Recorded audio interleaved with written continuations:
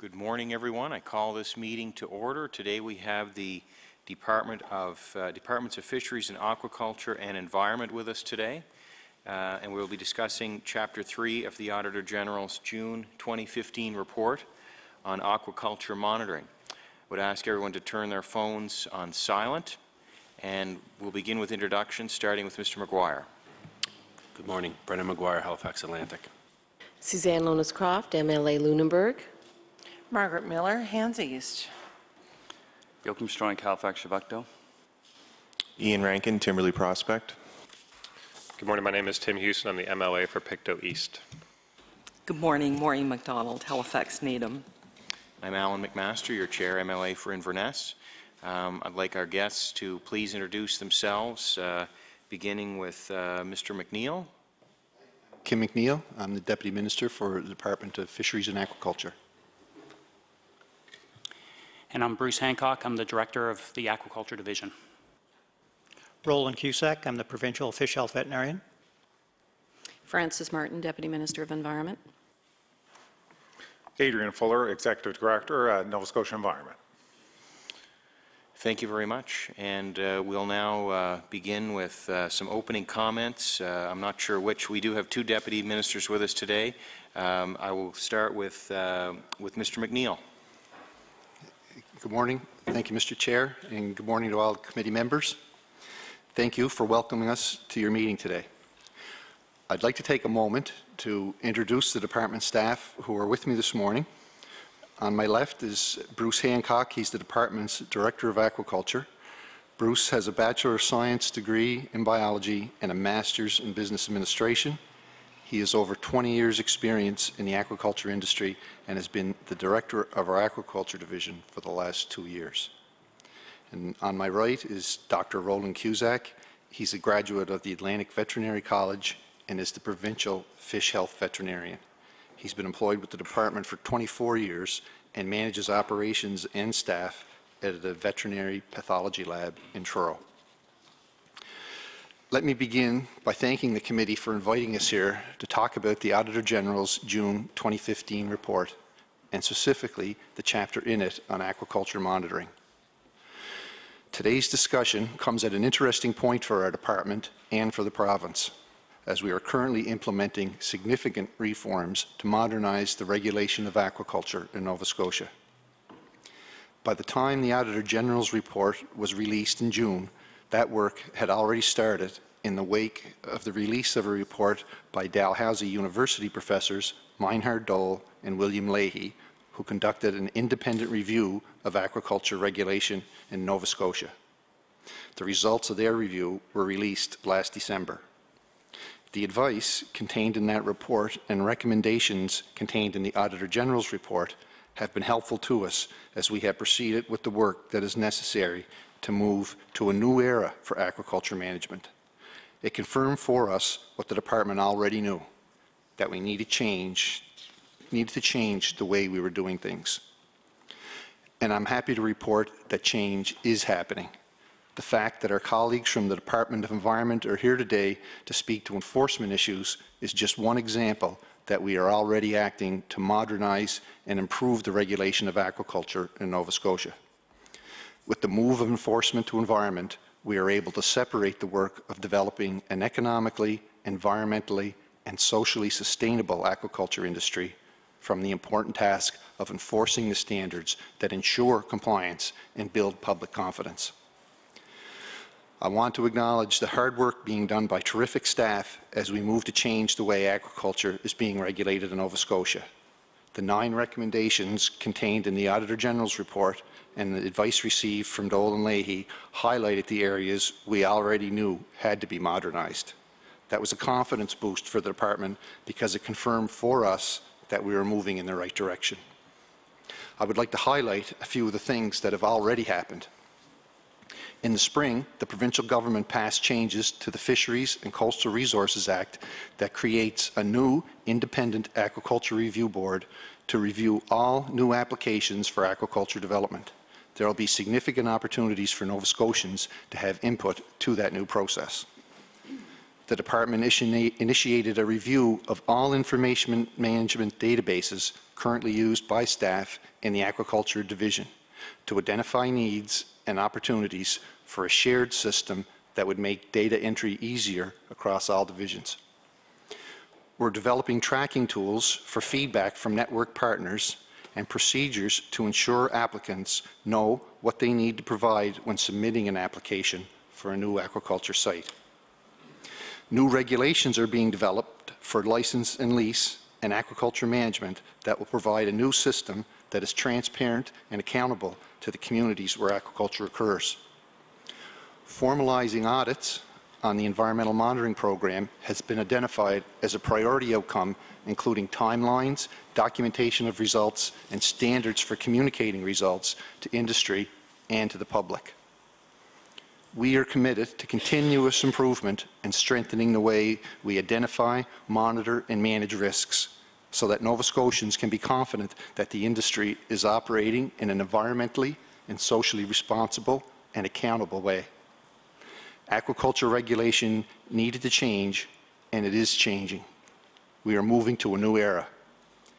The aquaculture industry has the potential to create economic growth in communities where it makes sense based on scientific evidence. In order to support a viable and balanced approach that provides for environmentally stable practices and economic growth, the regulations are being overhauled to address significant gaps. The Auditor General's report and the Doelle Lahey report provide us with guidance and advice that has improved the work we are doing to create a new approach to regulating aquaculture in Nova Scotia. Thank you. Thank you very much, Mr. MacNeil. Uh, Ms. Ms. Martin, would you wish to provide us with some opening comments as well? Sure, great. Thank you. Uh, Good morning, everyone. Um, Thank you, Mr. Chair. Thank you for the opportunity um, to present the work of the department as it relates to aquaculture monitoring and enforcement. As my uh, colleague Deputy MacNeil noted in his uh, remarks, the inspection, compliance, and enforcement of the province's regulation governing aquaculture was transferred to the Department of Environment as of July 1st of this year. The purpose of this move was to create a more unified, coordinated approach to protecting the public's health and the environment and our natural uh, resources. Uh, we also wanted to uh, separate the role of regulator from sector development, as my colleague has just referred to.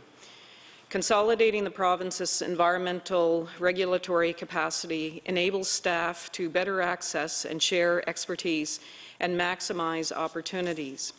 It also enables the non-regulatory staff to focus their efforts on growing the industry, in this case, the aquaculture industry. By separating the two functions, we also reduce the potential for conflict that could arise when one department is responsible for both sector development and enforcement. As of July 1st of this year, when compliance, inspection, and enforcement staff from Natural Resources, uh, the Department of Health and Wellness, Aquaculture and Fisheries Development were officially transferred to Environment, our goal has been to achieve an orderly transfer of all services to ensure all aspects of work is continued. Maintaining business continuity was our number one concern. Our focus now is on transformation, which includes developing a more consistent approach to compliance practices, sharing best practices, and achieving a more efficient and effective service delivery in keeping with the legislative responsibilities. While we are working on a new permanent structure for the department, the structure will be based on research from other jurisdictions on develop and on a new operational model for how um, the um, department will function in its uh, new role.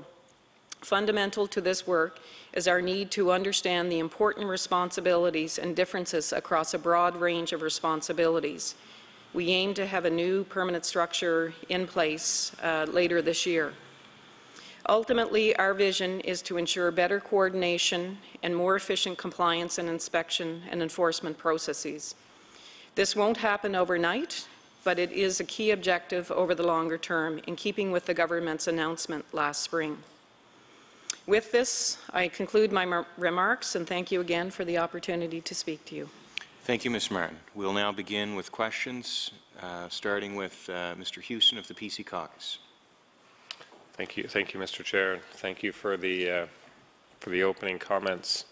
Um, Just, um, I guess for Deputy uh, MacNeil, when, when I look at the, the summary of the Auditor General's uh, findings here, you know, some of the stuff, no detailed written guidelines for technical reviews, documentation supporting application approvals not complete, um, renewals taken 372 days. Like, when I read through some of what, the- some of the things they've found, it was uh, pretty disappointing, I guess, let's say. And I did hear in your opening comments that you said that the Auditor General's findings kind of highlighted what you, what was already known within the department.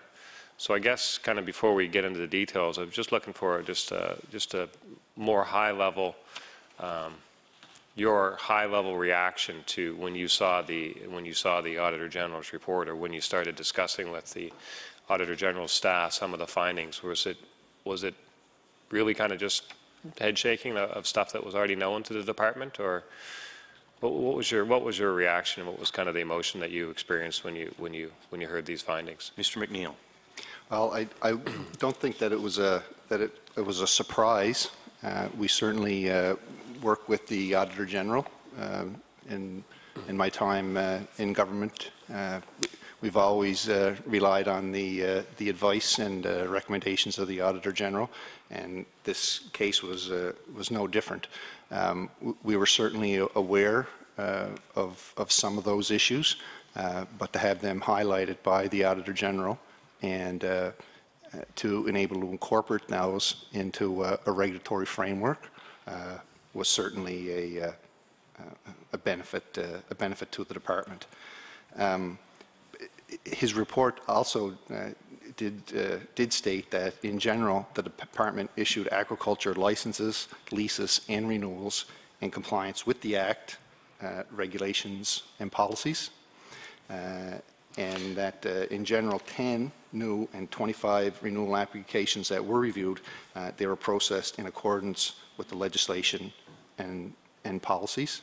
Sure, but, uh, sure, but no, I was just, I was just kind of more, more like, uh, I thought they were pretty, pretty serious, particularly around the ones about uh, documentation uh, not supporting, um, not, not being sufficient documentation supporting the uh, applications in the files, whether it was approved. But so, we'll, we'll get into that, but I was more curious as to what was your, like, your personal uh, reaction to that, and it was Yeah. maybe not, maybe not surprised. But in terms of, now, you mentioned in the opening comments that you're uh, implementing some changes coming out of the Doelle Lahey and also from the uh, AG's report.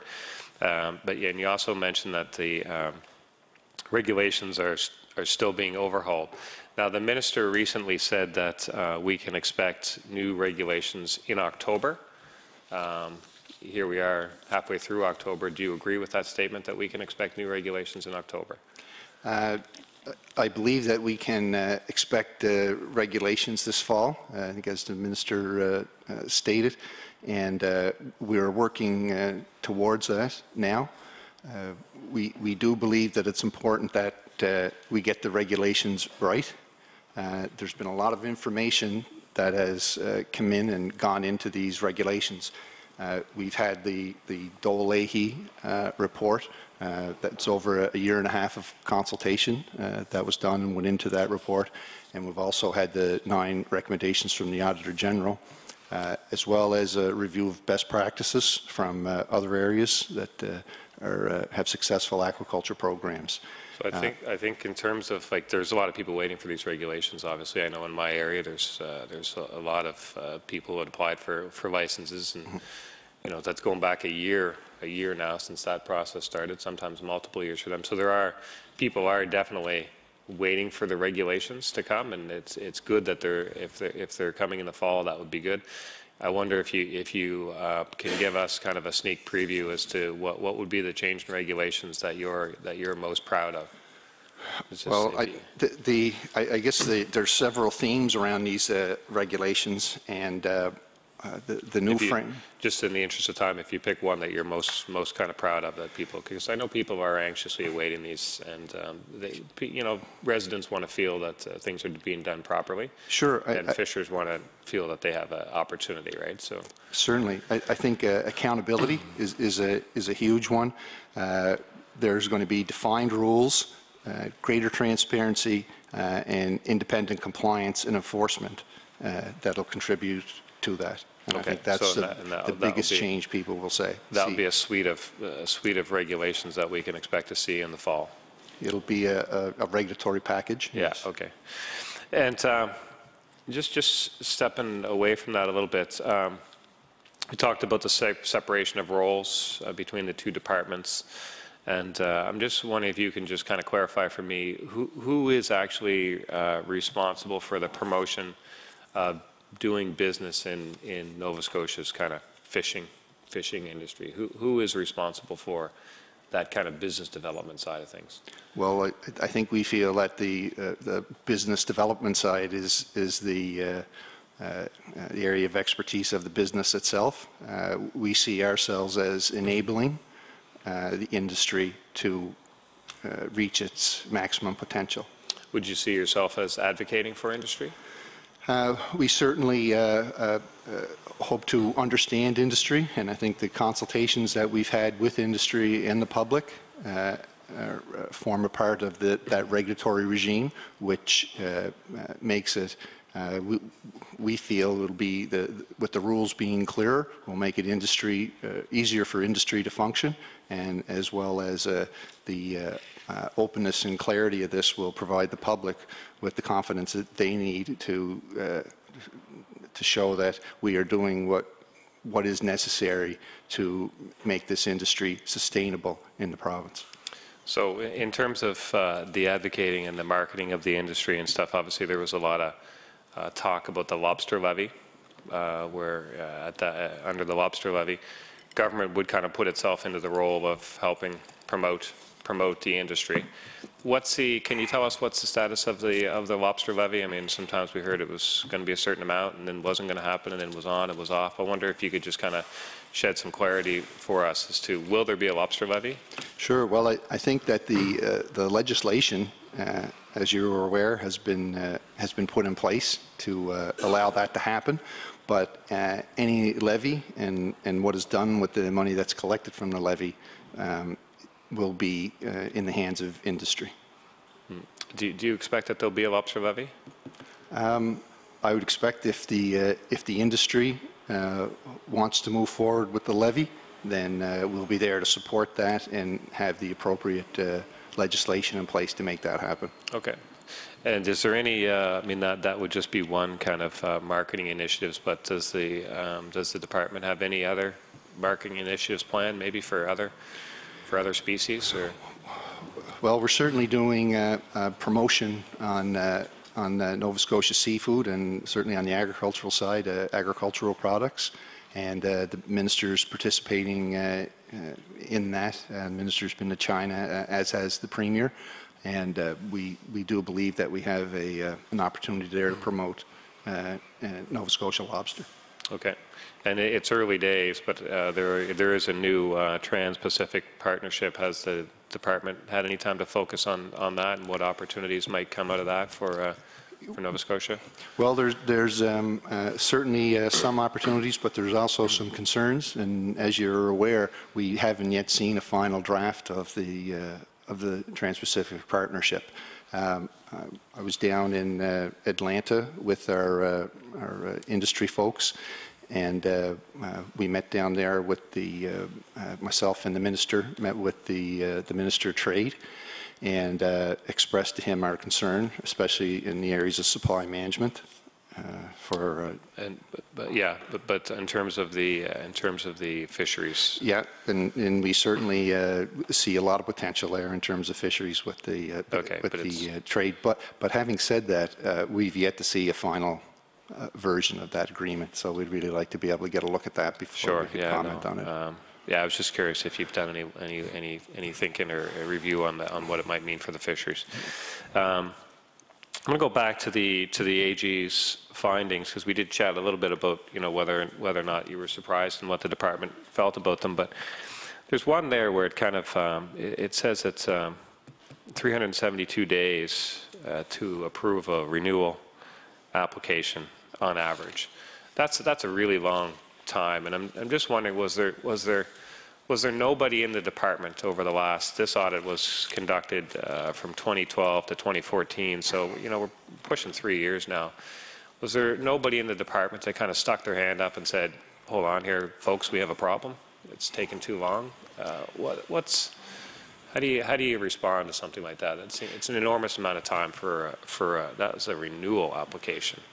Yeah, I, I, I, uh, I wouldn't disagree with that, and I think that's uh, uh, because of uh, a situation like that, uh, and as pointed out by the uh, Auditor General, um, you know, the, the system had, had to change.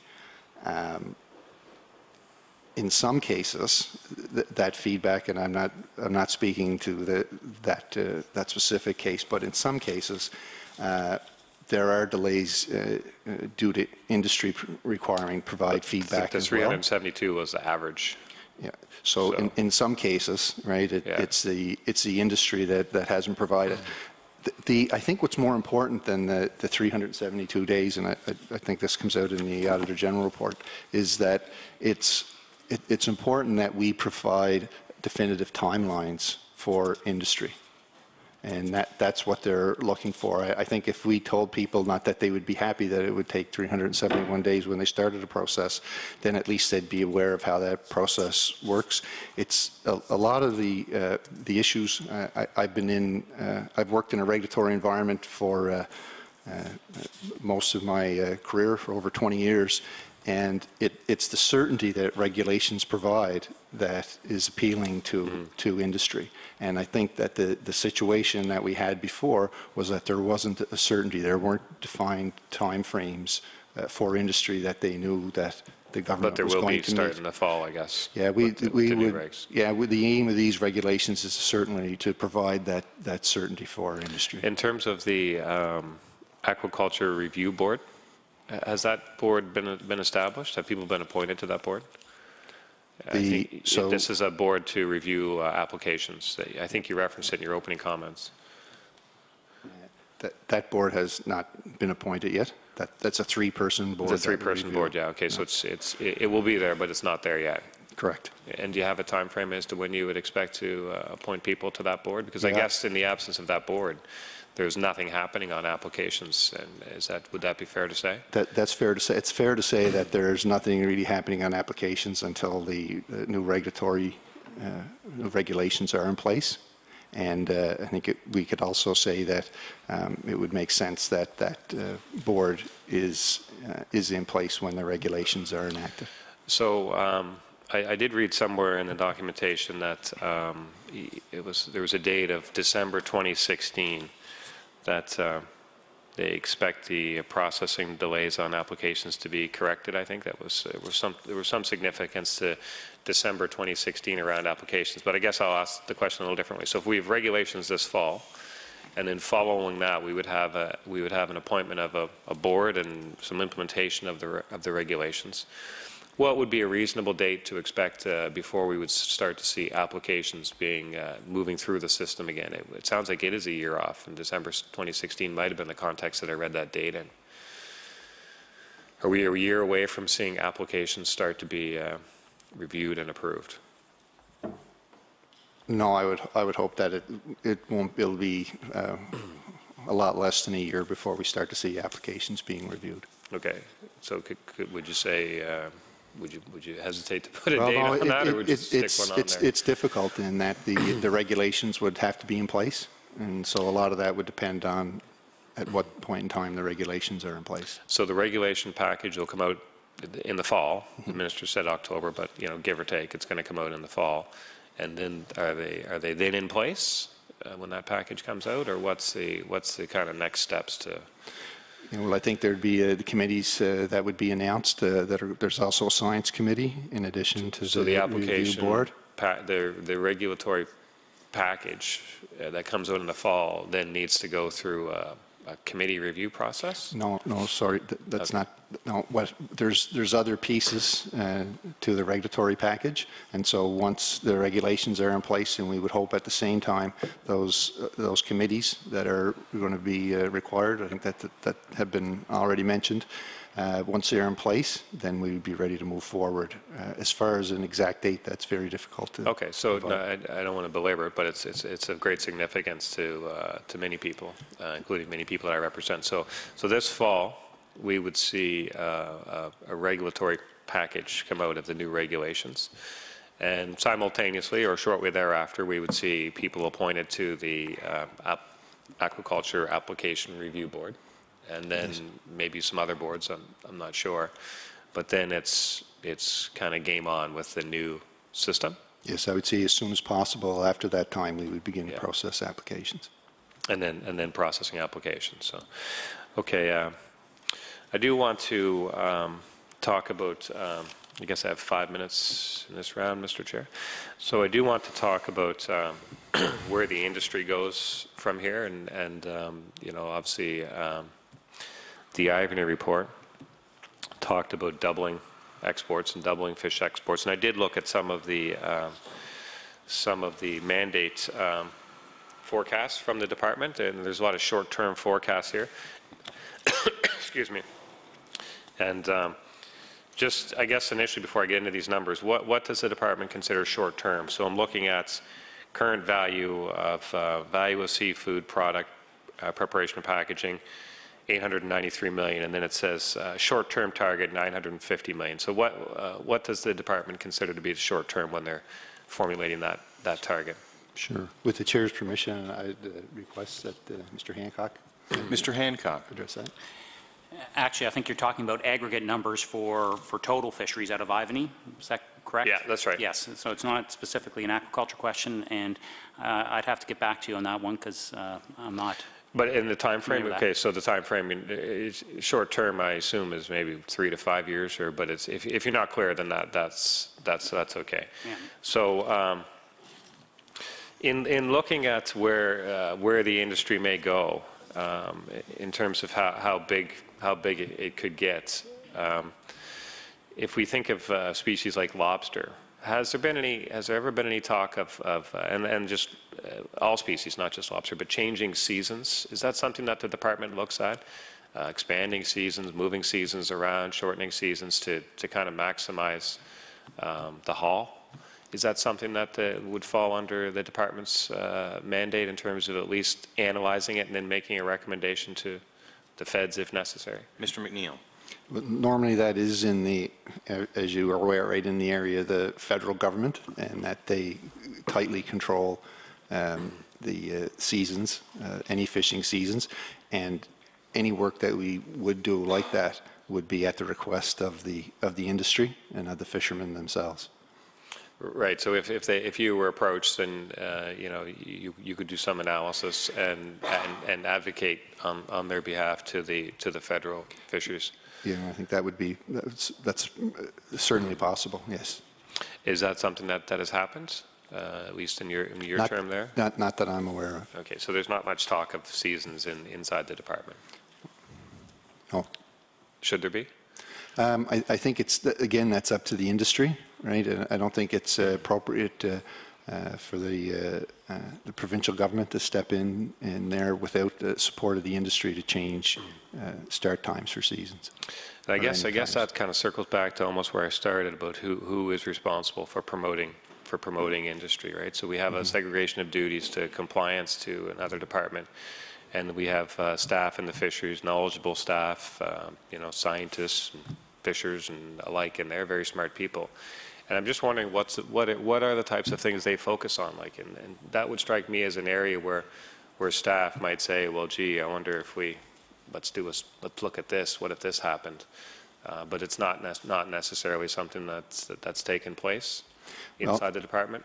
Well, I, I, I, I would, uh, I would not say that, you know, we've never uh, discussed that, but certainly our focus these days uh, in the department is on other areas, and it's focused explicitly on the uh, aquaculture regulations these days. That's our main area of focus. Okay.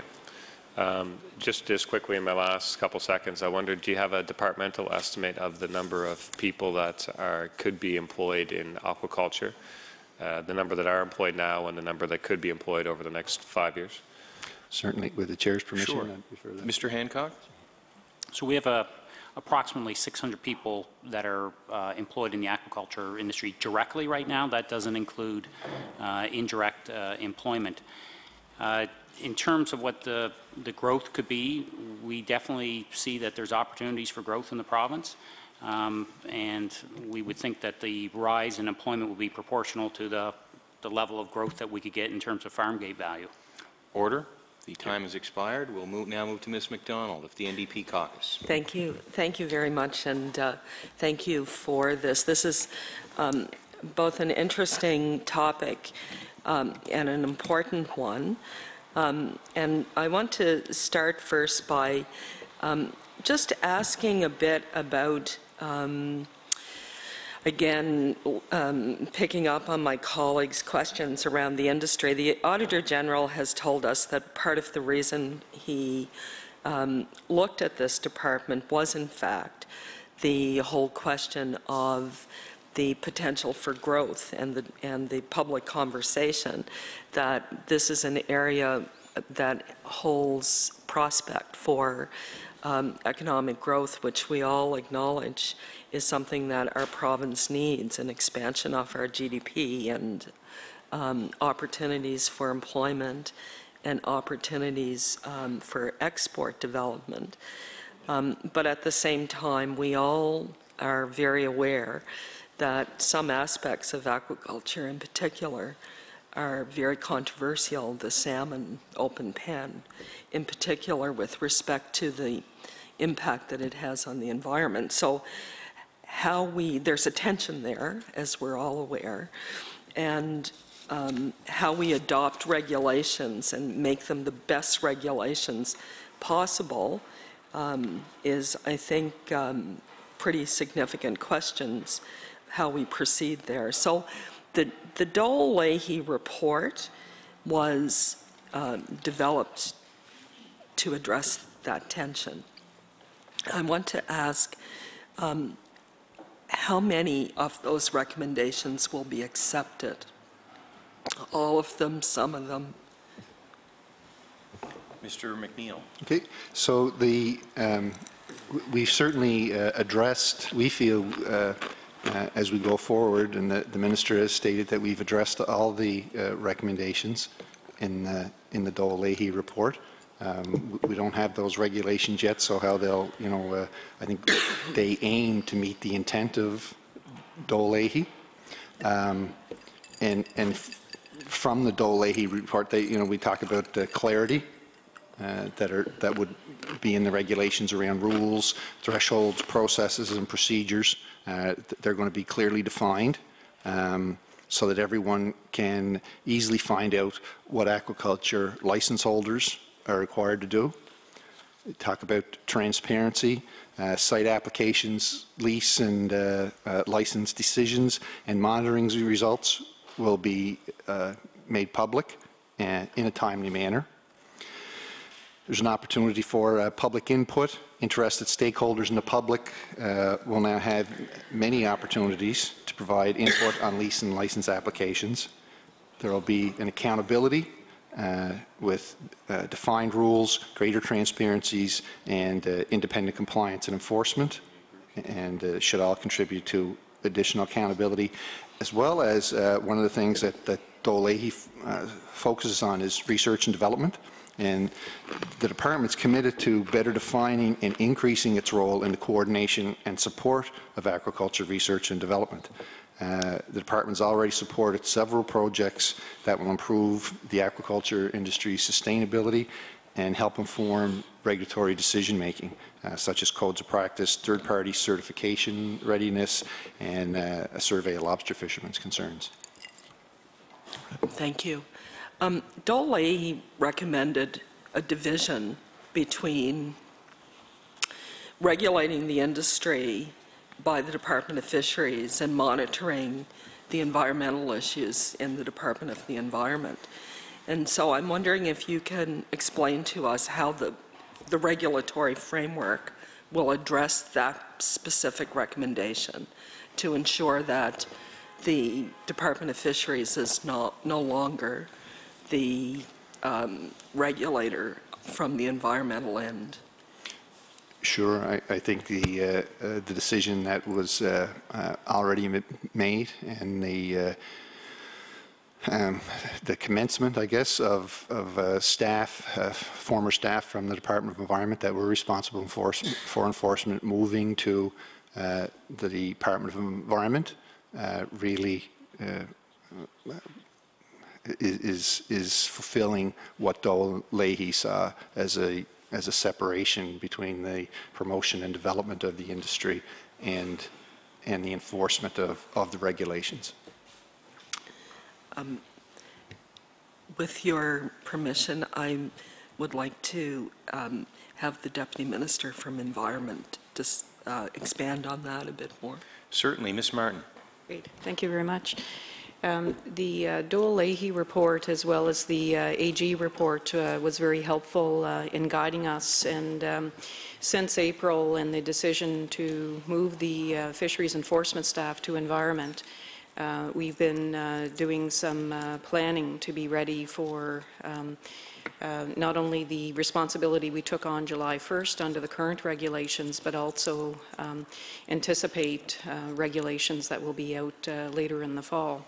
So we've had um, extensive um, discussions uh, with the Department of uh, Fisheries, understanding how they carried out inspection and enforcement uh, while they bore that responsibility um, as well as, as I said, in, indicated earlier with the Doelle Lahey report and the AG report, uh, gave us guidance in terms of where we needed to um, improve our efforts in terms of um, uh, instilling a trust in the public that um, the regulations were um, being properly uh, enforced. So um, uh, we are continuing in those discussions to um, ensure that we have clarity. Um, The Department of Fisheries is responsible for sector development. The Department of Environment is responsible for compliance and enforcement.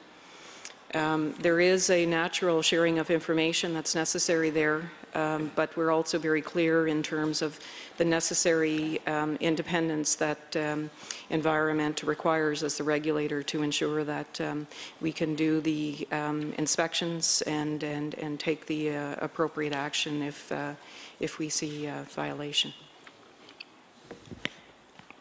Thank you. In April of um, this year, CBC reported um, that um, the fisheries had said the moratorium on new leases would be lifted um, by the end of the summer. And uh, given that summer is uh, behind us, uh, more or less, I still have fruit flies in my kitchen, unfortunately, so I think maybe summer is still here, but um, I think summer is behind us. So I'm sure that um, you indicated that there are people waiting. Um, I'm wondering how many people are waiting? How many applications do you have in the queue? And um, uh, how has the industry reacted to um, being told a, a large chunk of the industry is still a ways away from implementation? Mr. MacNeil. Certainly, well, uh, we, we have been working with industry uh, all along. Uh, The the department is aware of of challenges that the pause on accepting new applications uh, and certain types of amendments have, uh, has placed on the industry. Uh, And, and as you know, the regulations must be approved and implemented before the department begins to accept any, any new ones. We'd like to resume processing applications as, as soon as possible, but we do believe that it's more important in the long run for the industry that we take the necessary time to get the framework correct so that it addresses the many of the concerns identified by our stakeholders, industry, and the public. Um, we believe that the, that the new framework will strengthen public and investor confidence in aquaculture in the province and therefore provide the right environment responsible for growth. And, and certainly in discussions uh, that we've had with, uh, with industry, they support that, that we, we take the time to get this right. Um, Thank you. I, um, I sit on the um, One Nova Scotia Coalition, as you're, you're aware, and um, uh, research is being done by various departments on some of the um, goals and objectives coming out of the um, Commission on the Economy, which we refer to as the Ivany Commission.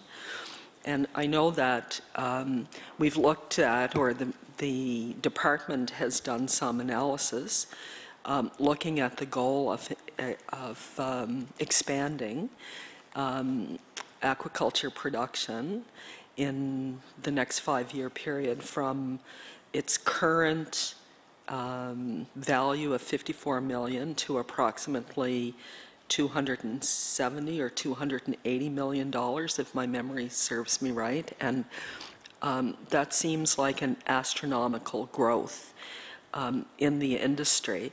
And um, so I'm wondering if you could um, confirm um, that analysis and provide um, that analysis to the committee um, to to help us further understand, you know, where we're going as a province with respect to this um, this particular industry. Sure, we, we can provide that analysis, but uh, I, to answer your question in full, I'd request from the chair that Mr. Hancock reply. Mr. Hancock. Thank you. I'd like to begin by saying our focus, uh, certainly for the last uh, year, if not two years, has been the implementation of the regulatory framework. So uh, there has been uh, an element of uh, looking at where potential opportunities could be, and we see opportunities right across the spectrum, land-based, marine farming, shellfish, finfish. Uh, some of the numbers, I can't speak to those specific numbers that you're referring to right now. Uh, but what I can say is certainly there's been evidence in other jurisdictions where there's been growth uh, similar to the, to the numbers that you were just referring to right now. So we know that it's possible to, to grow an aquaculture industry. Um, but again, our focus up to this point has been the development of the regulatory framework. Uh, we really do believe that this is going to be an enabling piece of work um, that will help businesses grow. It will provide that business certainty, will provide the public confidence that's required to, to make, make this a socially acceptable uh, industry. Uh, in terms of specific plans for each sector, because you would have to have a really detailed plan that would uh, identify the opportunities and the constraints. Uh, we have a very diverse industry in Nova Scotia, which makes it uh, a strong industry in one sense that we don't have all our eggs tied up in one basket, but it can also make it challenging because you, your focus is not necessarily tied to just one species. Uh, we haven't begun that analysis of each individual sector yet to see where that opportunity would be. Um, I would also echo our deputy's uh, comments that ultimately it will be business that drives uh, how this is done.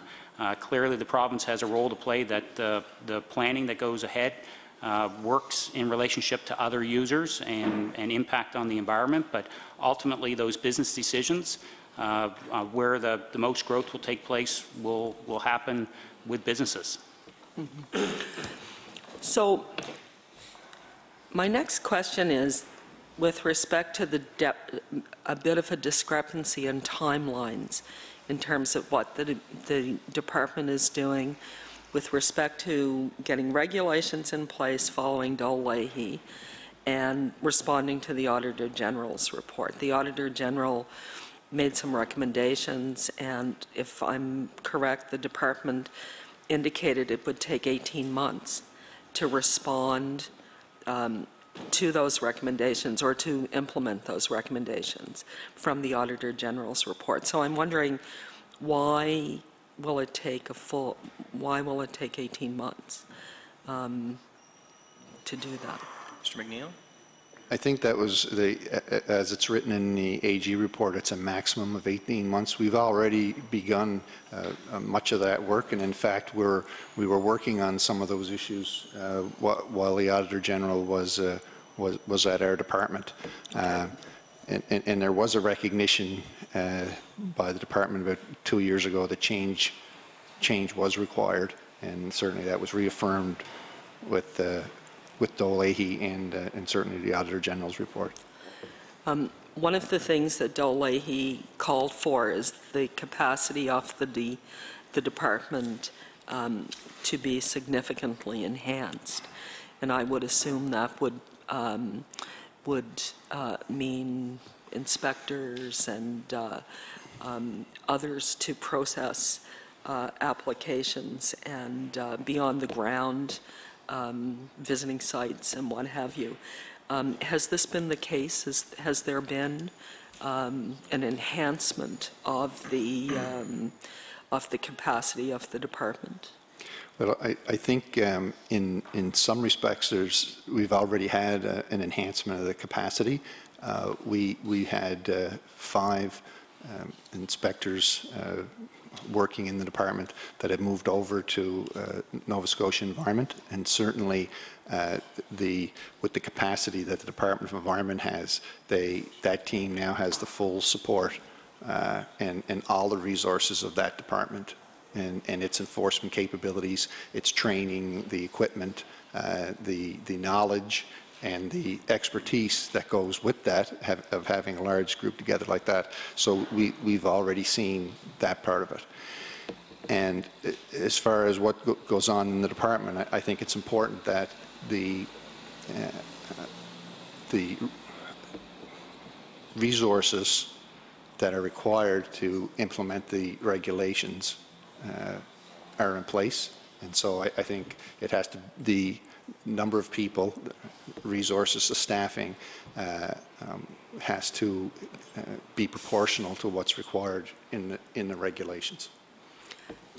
Um, Yes, of course. So five people have moved, but I guess what I'm trying to, have you received any new capacity? Um, If we're going to expand the, um, the activity and have more rigorous uh, regulatory framework and what have you, probably will require some new resources as well. I, I think there, there's potential for, for new resources, and there's also the potential to uh, reallocate uh, resources in the department to, uh, to better focus uh, the work that we're doing. So the answer is no. There are no new resources yet, but potential. No, well, Uh, we don't have those new resources. They would, they would come, I- they would follow uh, uh, uh, any regulations that would be passed, and of course, uh, in a budget as well. Thank you. Um, One of the um, concerns that you hear a lot um, out in the public, and certainly Doelle Lahey um, and the Auditor General um, both talked about fish uh, disease, disease in the, in the fish, um, as a key concern. And I understand that there are separate regulations, are there, with respect to animal health? Um, aquatic animal health, or will that be part of the regulations that are being developed? I, I don't understand exactly how that's going to work. That- so That'll be pa- part of the, of the package. It will Yes, be They'll be of the included in the. Um, And that will be part of what we will see this, uh, this fall as well. My last question is around this advisory group. I mean, I think one of the things that Doelle Lahey was very clear about was the value of having broad-based consultation of all of the different stakeholders, the Mi'kmaq, uh, municipalities, uh, uh, environmental groups, uh, industry groups. Um, Are they participants in the development of the regulations, or are are there any consultations going on um, with these various organizations, given that there isn't uh, an advisor, a regulatory advisory panel in place um, right now as the regulations are being uh, drafted? So the, the minister does have a- a- an advisory panel of people? seven people from uh, a, a cross-section of, uh, of industry, um, folks with the environmental, uh, uh, tied to environmental groups. Um, And uh, he's been working with them and has personally met uh, with them as we develop a, a regulatory package. So this is an, kind of an informal, it's not the formal advisory group, it's an informal. Can we um, be provided with the, uh, the names of those individuals and? uh, Absolutely. Thank you. Um, I think the last uh, question I would have is about what, uh, you made reference to best practices. So I know that there was a delegation, there's been at least one delegation has gone to Norway previously, which is the largest aquaculture uh, um, producer in the world. Um, And I'm wondering, what uh, are the lessons you've learned from places like Norway? And we haven't had a chance to talk about uh, land-based um, aquaculture production, but I'm interested in exploring that as well. But what is the main, the main lesson that has been garnered from Order. I- We will have to wait for that answer for the next round if you, if you wish to ask it again at that time. Uh, We will now move to Mr. Rankin in the Liberal caucus. Thank you. I I just have one question before we move on to some of my colleagues, and it uh, revolves around the same question of the, um, the enforcement of the activities being transferred to environment. And I guess I'm looking at it from the other side instead of more resources. I'm just wondering if, if there's efficiency gains to be made, and if the, uh, the second part to that would be uh, realizing that compliance standards would be different for various industries, give it, uh, so there is also DNR enforcement going to environment.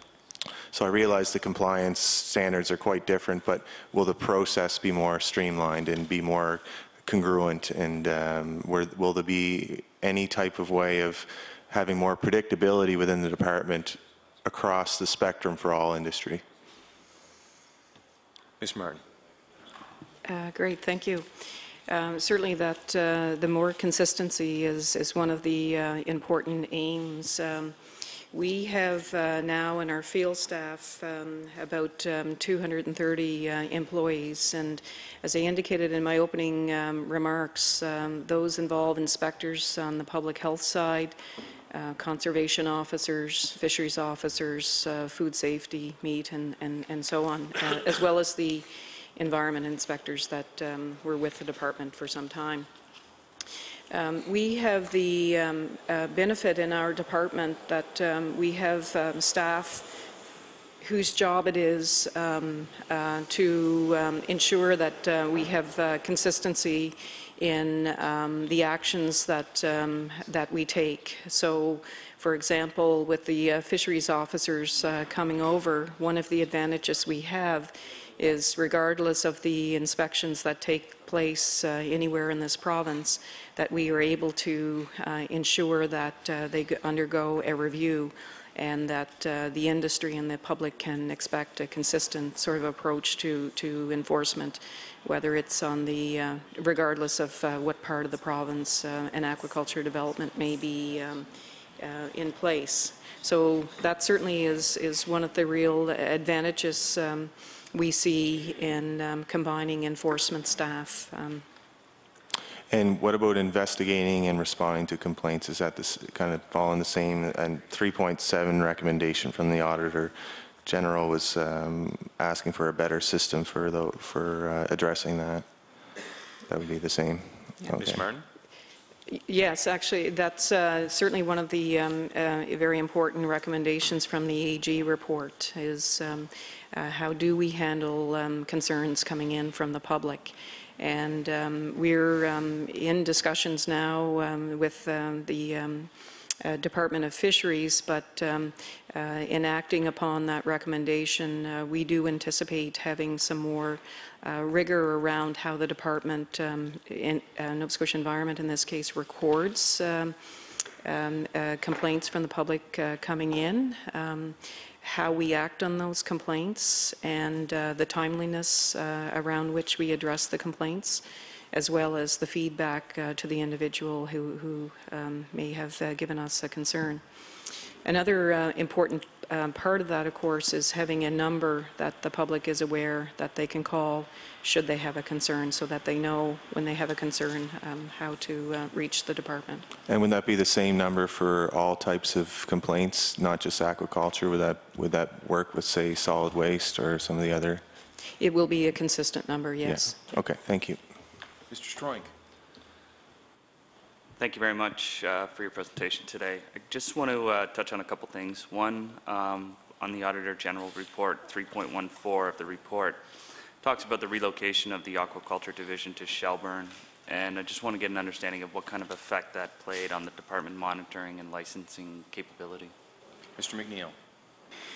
Um, well, As you're aware, um, in the Auditor General's report, I think I can, I have it right here, the relocation of most of the aquaculture division and resulting loss of staff likely contributed to a backlog and delay in processing aquaculture site renewal applications.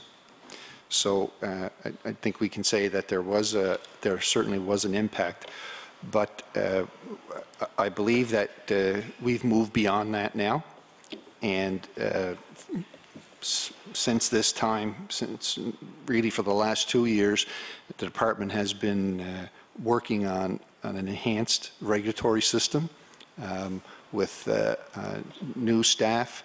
Uh, We had uh, very dedicated uh, staff at the time that the folks were were sent to Shelburne. They were professional and loyal, and and many had been with the department for for years. Um, There there was an impact as most of those staff uh, either retired or chose to stay in in Halifax. But uh, jumping forward to, uh, you know, the the current situation, uh, we have a staff in in Shelburne that is also uh, very professional. They're innovative uh, and and energetic. They they have a a- a great a great leader, and uh, we're we're really proud of the the work that they've done to prepare these uh, these regulations. Great, thank you. And I just have one other question. I kind of want to touch base. Um, You know, Cooke, Cooke uh, Aquaculture has been one of the main forefronts in Nova Scotia. Um, And I guess there's concerns about the way that they've done business, and I think that's where the regulatory piece comes into play, where that's going to change. And I guess I want to, want to look at uh, the state of Maine, which does a phenomenal job in the aquaculture industry, and it's Cooke who is the primary uh, person down there.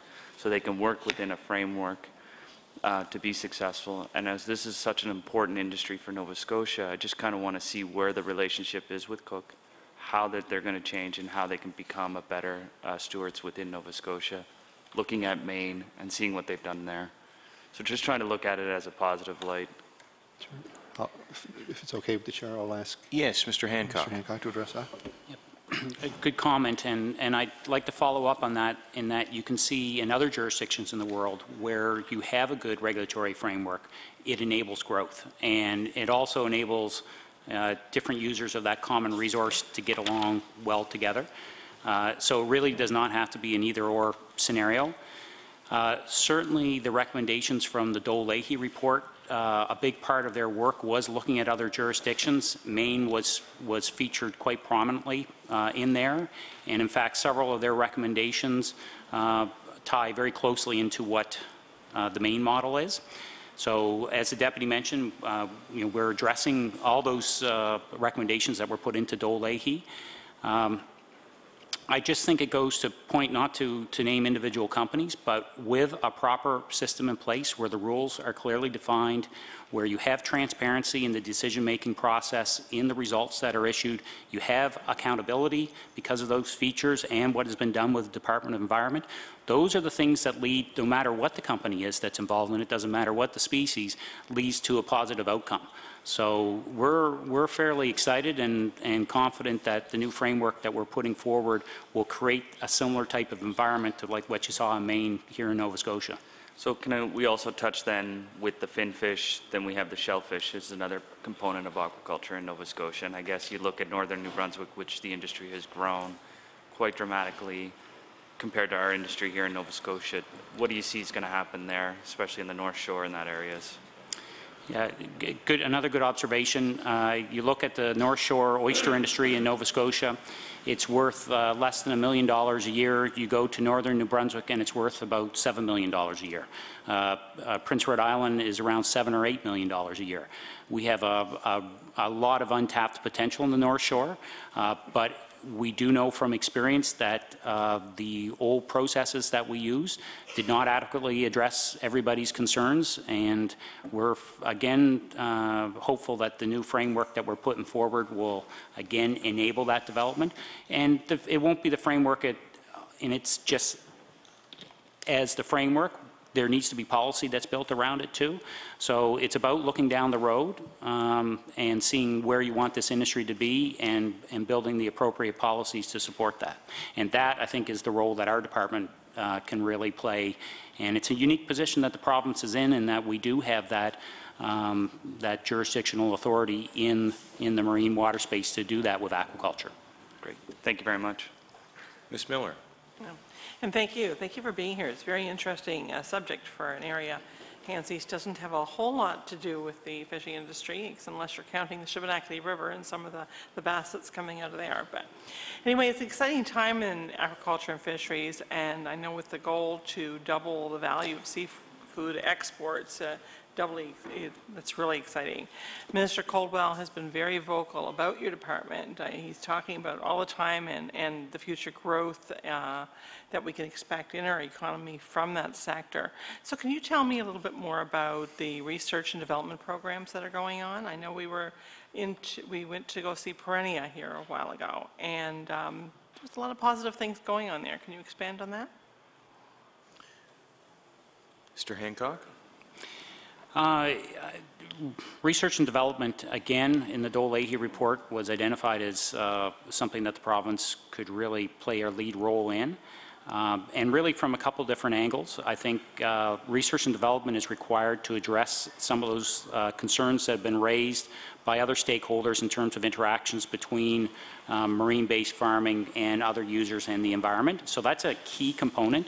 Uh, It was acknowledged in Doelle Lahey that there were gaps that, that needed to be filled.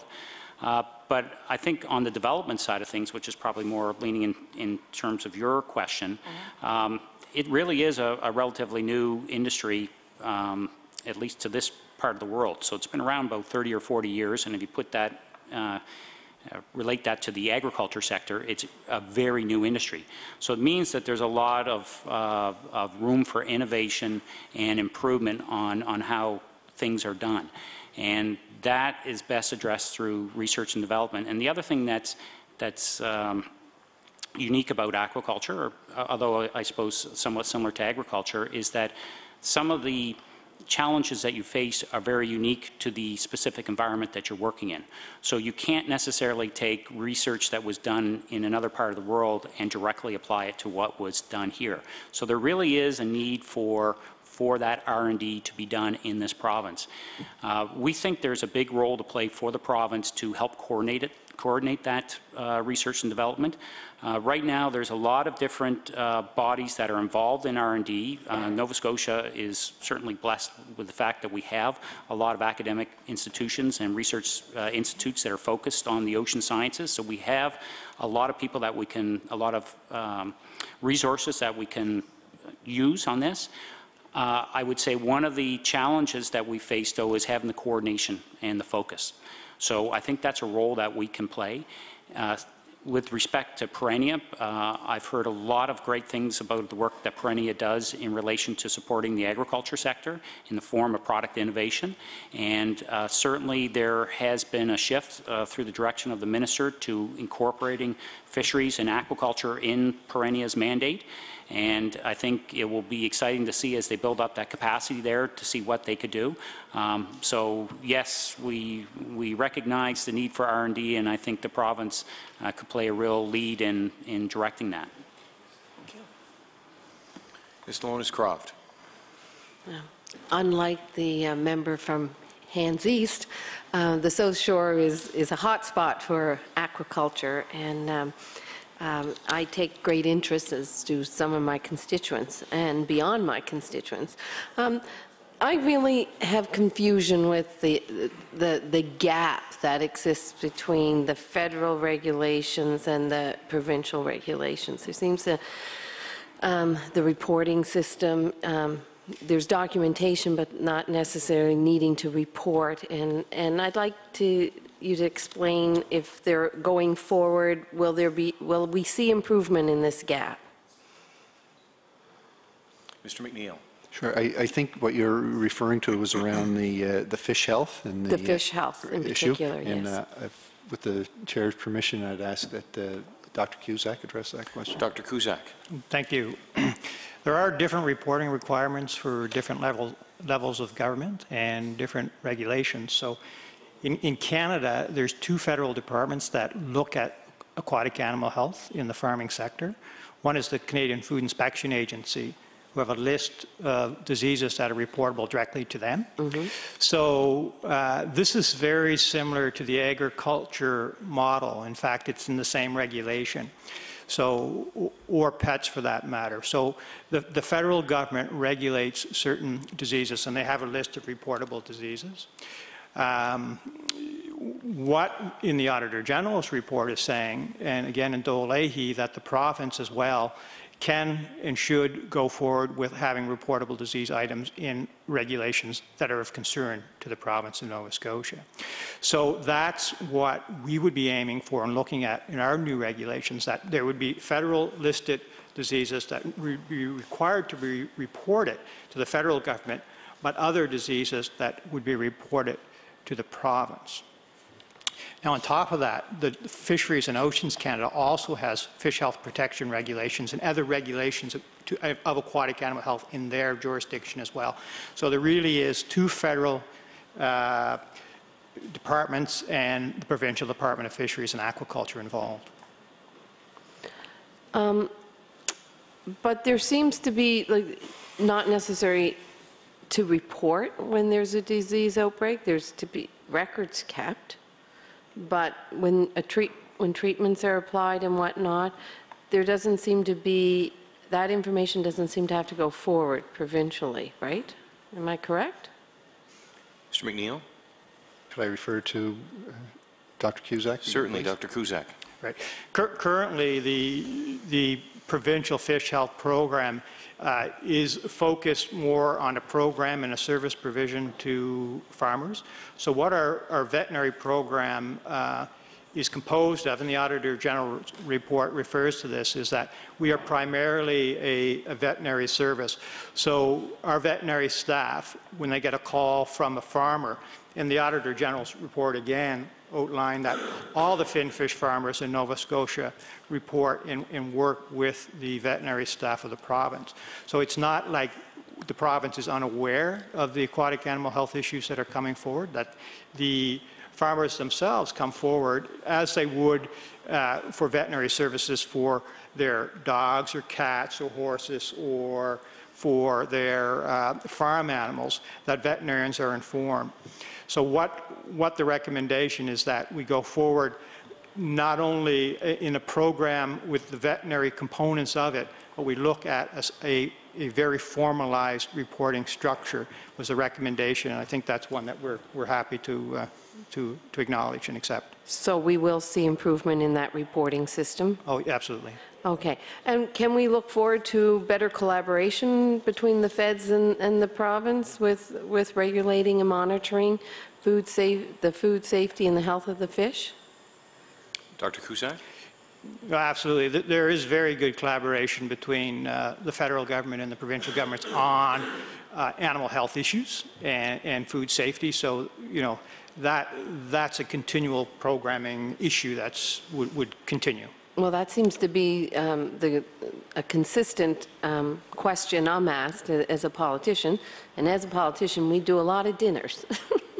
And salmon is often served, and, uh, you know, I've noticed more and more in, in recent years, people, uh, when they see salmon food uh, served at, at a dinner, um, they're wondering if it's um, open pen, closed pen salmon, if it's wild salmon. Um, Can you tell me if my salmon that I eat at these dinners is safe? Dr. Cusack? Yes, uh, yeah, I- I can tell you it is safe. There- There are, the same food safety standards for farm salmon as there are for all farm animals, that they have to go through registered uh, plants that are registered by the CFIA and are processed in the same way. So yes, the, the salmon that makes it to market is salmon that's approved and, and very much safe to eat. Thank you.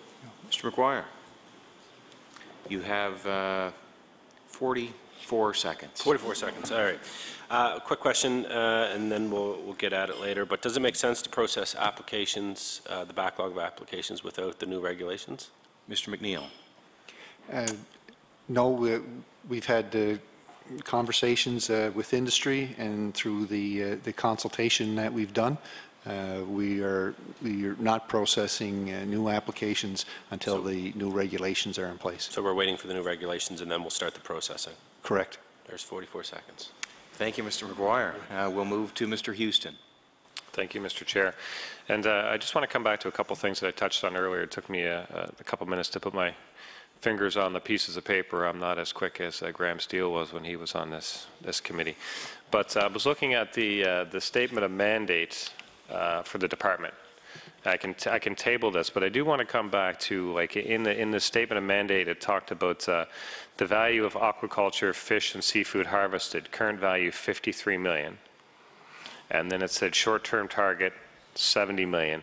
And I was kind of asking about uh, what did short-term mean, and we, maybe we can come back to the, uh, the committee on what short-term means, because um, uh, my colleague was saying that in the, in the One Nova Scotia Coalition committee meetings, they were talking about uh, a value of agri- aquaculture by, I think, about 280 million by 2020. So that's only five years. So maybe, um, I guess the, the question for, and I, I can table this uh, for the, for the deputy's benefit, but the, the, the short-term target of 70 million, would that be a, a number that was developed by your, your department? Mr. MacNeil? Yes, and I, um, Mr. Hancock could provide additional information around that, where that number came from and its due date. Mr. Hancock? Thank you. Yes, that, in terms of short-term, we'd be looking at a year in advance. So that would be based on what we know the production plans are of, of industry, of course, subject to, you know, them bringing their crop through to successful completion. Sure, okay. And would you, uh, would there, would there exist a breakdown of the 70 million by, by species? Uh, Some sort of analysis behind the 70? I? I'm sure when we came up with that, we would have done it, broken it down, but I, I don't have that information. Okay, well, that, that- maybe, maybe that be something you can uh, uh, send to the, uh, to the committee in, in due time when. when What, what I can tell you is our current stats, which have just been released, so for the numbers for uh, 2014, uh, aquaculture just went over the $60 million a year mark, uh, and over 70% of that was uh, from finfish operations. Okay, okay, that's, that's helpful, thank you. And then the other thing that we were, we were talking about was uh, uh, the new regulations come out in the fall, that triggers uh, committee setups and stuff like this. And I, I did, I did notice, I'm looking at the department's action plan on the Auditor General recommendations, on, on the recommendation that the department should determine why application process delays are occurring and correct them. It was the, uh, the department's expected completion date was the department expects to have the new administrative processes with predictable timelines in place by December 2016. So I, I think I heard, I don't want to put words in the deputy's mouth, but I think I heard him say that 2016, December is kind of the worst case scenario and that they would be in place before that. But my question would be, if the regulations come out in the fall, is there, um, is there, is that, um, do things immediately spring to life at that time in terms of starting to process applications? Or um, is there more uh, processes that have to be developed behind the regulations? So, so I guess what I'm trying to get to is, uh, my colleague was asking, does it make sense to process applications in the absence of proper regulation? And uh, obviously, I heard your answer, but I'm trying to find out when will applications start to be processed? And, and, and looking at this, it doesn't seem like that's going to happen this fall, uh, even though the regulations will be there this fall. Uh, Probably going to take some time. In this, in the response to the AG's recommendations, the department kind of gave itself, I guess, 18 months at the time, which is now just a little over a year. Can you give any kind of clarity to, uh, to when when could applications start going through the system? Mr. MacNeil? Well, the, uh, many of the, the regulatory and policy pieces are, are already being uh, uh, implemented. Um, But it will take, uh, you know, some time processing the uh, initial applications. Uh, Certainly, um, th- there's going to be issues that we, you know, would want to resolve if there, it's a, it's a new process. Yes, Um, understood, but when would that actually start? Like, it's going to take some time to start processing them once it starts, but the question would be, when could people reasonably expect the wheels to start churning and the process to start actually happening where an application comes off a desk and gets into somebody's hands and they start to review it? I, I see that happening shortly after the um, uh, regulations are enacted. Uh, We're say? certainly preparing uh, now to uh, receive applications. We've, uh, we're, uh, as recommended by the Auditor General, we're looking at our our databases uh, as well as addressing the other recommendations that he made so that uh, when the regulations are enacted, we can move forward. So maybe, maybe a year from now, if we were to be sitting here, we'd, we'd have some applications going through the system. And I don't, I don't want to belabor it, but it is, yeah. I mean, I have constituents whose, whose livelihoods on hold while this happens, right? Yeah. And, um, And, and, and I think that the best thing that we can say to that is with the new regulatory regime, we'll be able to give definitive timeframes as to when that will take place, which we couldn't uh, okay, so when the prior new. to these new when the regulations. So I When the new regulations come out in the fall, those timelines will be in there? that's correct. Okay, so in the next couple months, people would know what to expect? Yes. Okay. Um, I do want to go back to a bit to the, uh, excuse me, to the recommendations of the Doelle Lahey report.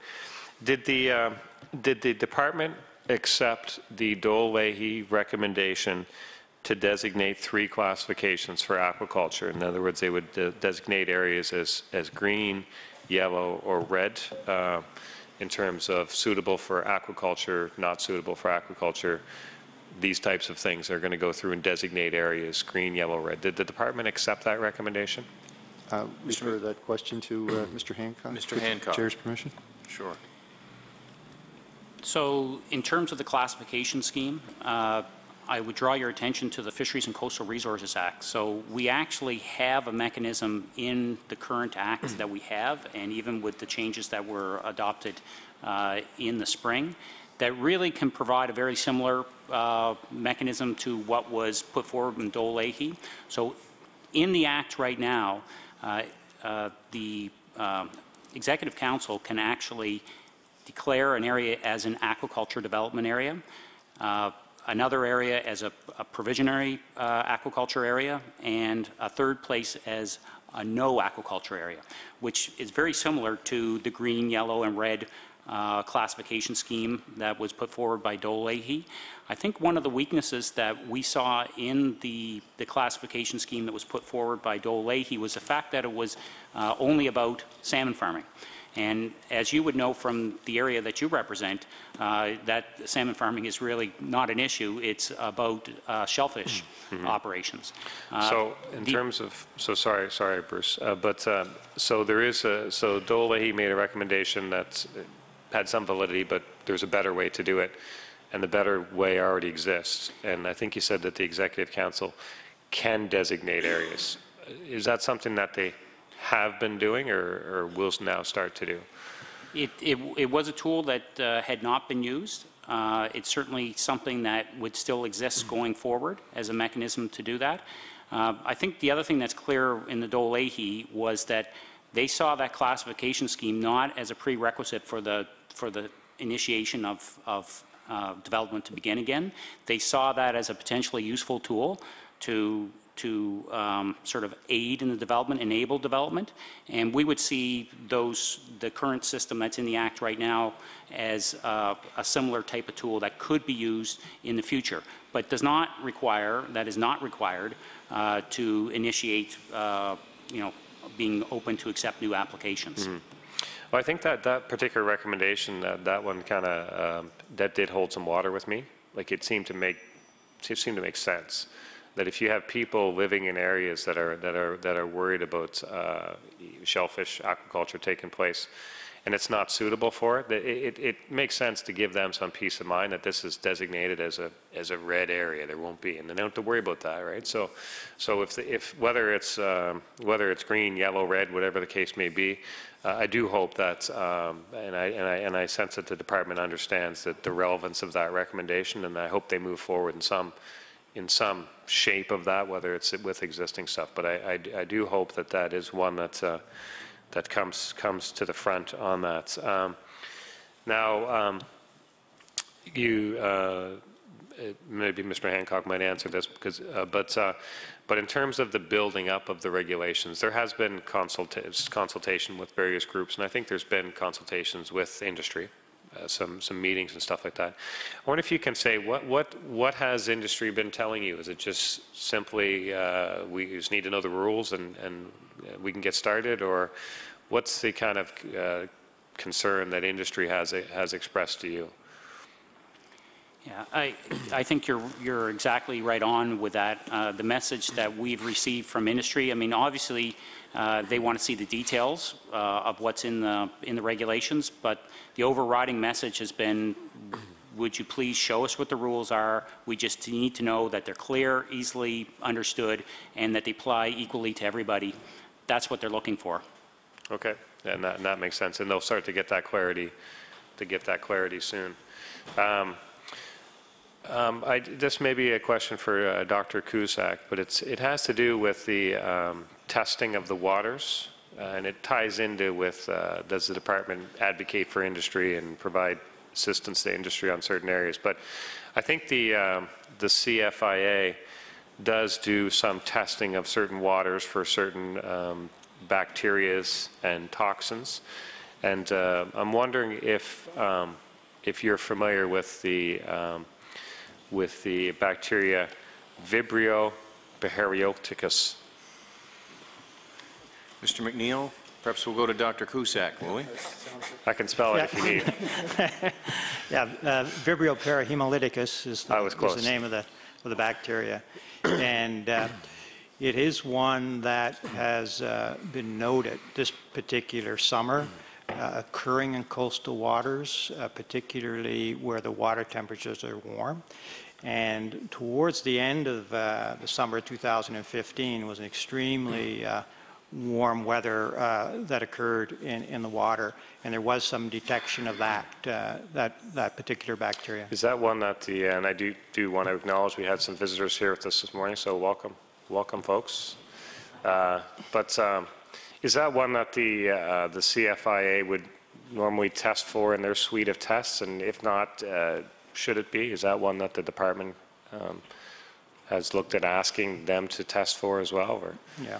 That, that particular bacteria is, a, is uh, of concern for CFIA, so they would have their quality management program set up with shellfish farmers to detect the possibility of that being in the product.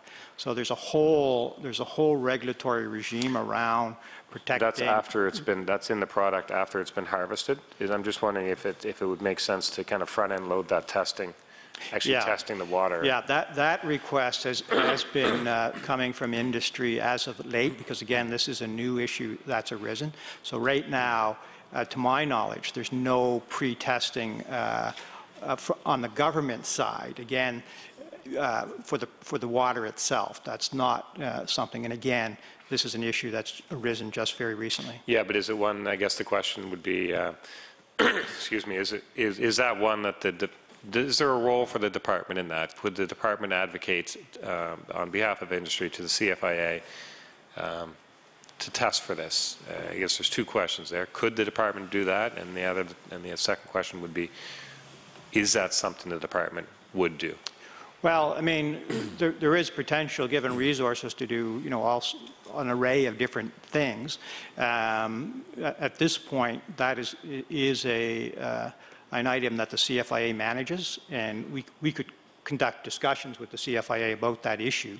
Right now, we don't have a program or facilities or, or funding to do such. Yeah, and that's, I guess that comes back to uh, what I, what I was uh, trying to get to before in terms of the, uh, does the department see an advocacy role in terms of, that would be an example. where possibly the department could advocate on behalf of industry to, would you consider doing this task, the CFIA, or, or, you know, in other areas it would be, could be seasons, in other areas it could be promotions, but it, it all comes back to maybe for my, my final question, maybe I'll wrap up with the, with the deputy on this one. Uh, maybe I'll, and wrap up and just ask the deputy, um, are these the types of things that the department would look at advocating for on behalf of I do industry? apologize, but our time has expired. We'll have to move to Ms. MacDonald, the NDP caucus.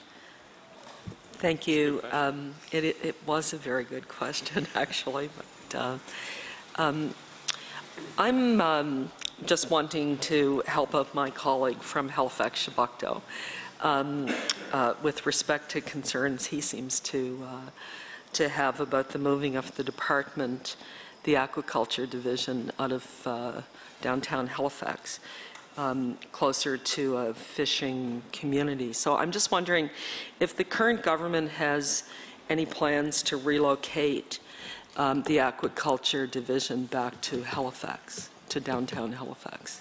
Can we get some, have you been uh, advised of that? Mr. MacNeil. No, definitely not. Uh, Definitely not. Um, Thank you. Um, Earlier, when I, um, I asked you about uh, how many, um, how many are waiting in the queue for approval, um, I don't re- believe I received an answer to that. So I'm, I'm wondering if you could tell us how many new applications are waiting to be processed? And if you could give us a breakdown of the type of aquaculture um, that would be associated with the various applications. Mr. um, Mr. Hancock. Thank you. Um, I can tell you that we know that there's interest from uh, various sectors, uh, shellfish, finfish, uh, land-based, as you know, uh, we've still been accepting applications throughout this process, so there really has been no change in that. Uh, It was only the marine sites that there was a pause put on while this process took place. Having said that, there is no backlog of applications because we fully anticipate uh, in our new framework that the application process will be quite different. So uh, in the interest of, of, of operators that want to put an application in, in the interest of other stakeholders that want to see what this new process uh, looks like, we just uh, uh, have not accepted applications. So we don't have a specific number uh, that we can offer, but I can tell you that there is interest. Okay, thank you. Um, As of March 2014, um, there were 274 approved uh, aquaculture sites in the province, Um, but not all of those sites were actively engaged. So I'm wondering if you could tell us how many of those sites were actively engaged, and then give us, again, the breakdown between the various forms of aquaculture. Certainly, and you'll excuse me, I'll refer to my notes here. Sure. I don't have that off the top of my head, but um, we have 292 licenses that were issued. So just for everybody's information, uh, to do aquaculture in the province, uh, you have to have a license. Uh, That's whether you're on land or in the ocean. If you're going to farm in the ocean, you need to uh, lease a piece of crown land uh, from the province to carry out that activity, so that's the lease. So commonly, we refer to these as lease and licenses, but in the context of land-based, it's just licenses. So overall, we have 292 licenses that are issued. 260 of those are marine sites. Uh, 38 of those 260 are finfish, and uh, this year, there were 13 of those 38 that were active. And I can tell you, I don't have the specific numbers for it, part of the reasons for the inactivity in the other sites can range from it's a site that's being fallowed, so it's between production cycles. It's a site that uh, may never have been one that was overly successful for growing finfish, and but the the uh, license holder still has that site, so it's been active for a period of time. And in other instances, it's uh, companies that have growth plans and plan to use those sites. So there's a variety of reasons why uh, the site might be inactive. There are 222 shellfish sites, marine shellfish sites, and in 2014, 111 of those uh, were active. So almost 50% were, or exactly 50% were inactive.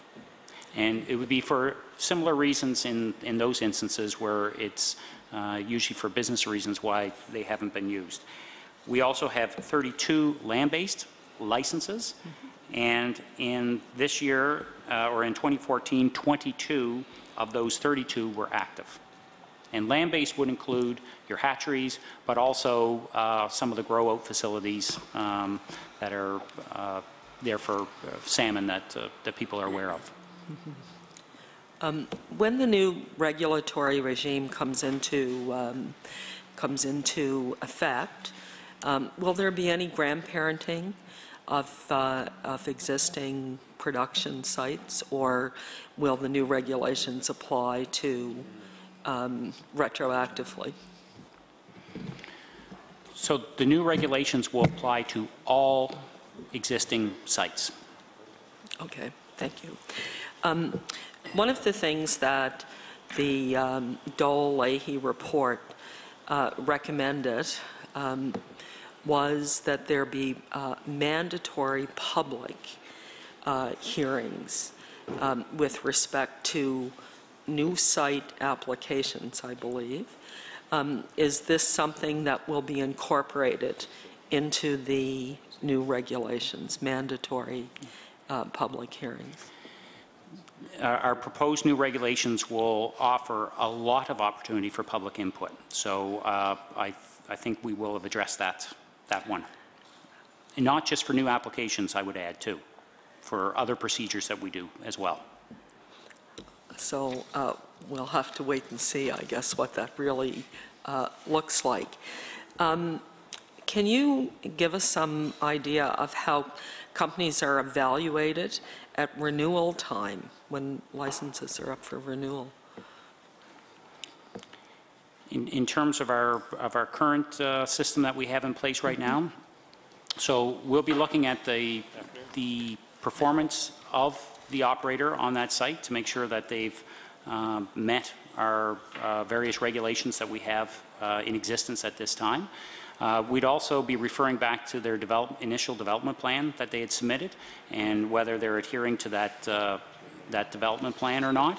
So there's, there's various factors that would come into play, and also uh, a big part of it is assessing what their plans are for the next term of their, of their lease. Um, Doelle Lahey, I think, also recommended that small and medium-sized um, businesses be provided with assistance um, to deal with the new regulatory framework.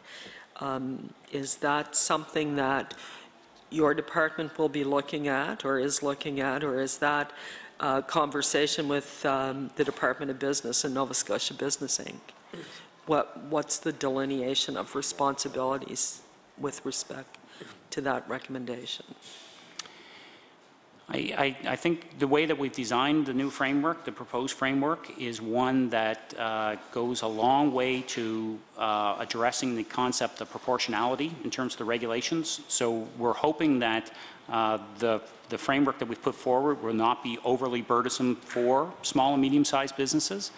Uh, having said that, uh, we recognize the fact that, that the department is, has a role to play in assisting industry to, to meet those new responsibilities that they're facing. So that will come in a lot of different forms, and it may not be just uh, something that it's limited to our department, uh, depending on the nature of, of what the requirement is. Uh, Again, though, I would stress that we've uh, done our best in, in the draft uh, of these uh, regulations to allow for uh, some flexibility and to address that issue of proportionality that was talked about in Doelle Lahey. Um, Is there one part of the sector um, which should be focused on um, more within the diverse industry um, in terms of its value, its potential? I, I think all the, all the different species that we're growing in this province have uh, equal uh, potential. Um, I would hope that we design a system that doesn't favor one over the other. Uh, Again, I go back to the thing that it's ultimately a, a business decision where investors want to invest their money. It's our job to create a framework that's a level playing field for, for everybody. Okay, thank you. Um, I want to ask you about the land-based um, sites. Um, What regulatory framework are they um, uh, subjected to? And um, are there modifications going on there as well?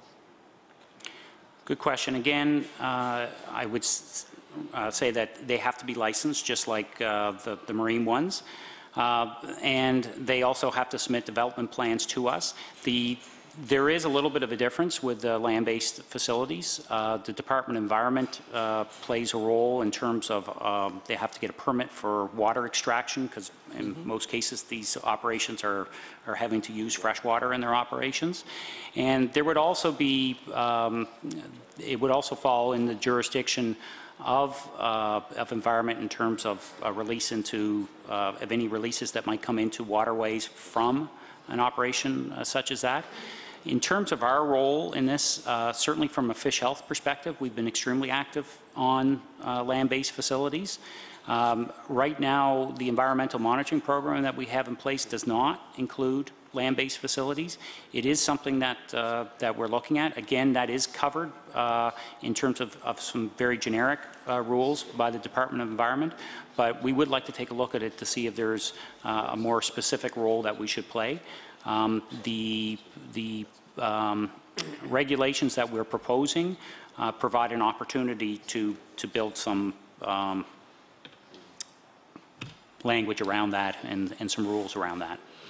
Has the department done any um, economic analysis on the potential for land-based uh, aquaculture in terms of uh, its potential for growth and, and expansion from what we currently have? And if so, what have you determined?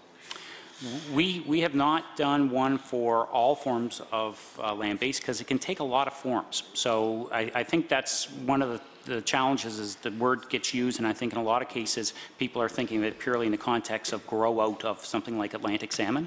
But uh, a large percentage of our, of our land-based operators right now are hatchery operations that produce smolt to supply marine sites. But there can also be shellfish hatcheries, which are licensed as, as sites. So uh, also we do, uh, we're a world leader in um, uh, developing or producing uh, baby halibut. So we have a halibut facility. So there's a lot of variety in our, in our hatchery system that we have.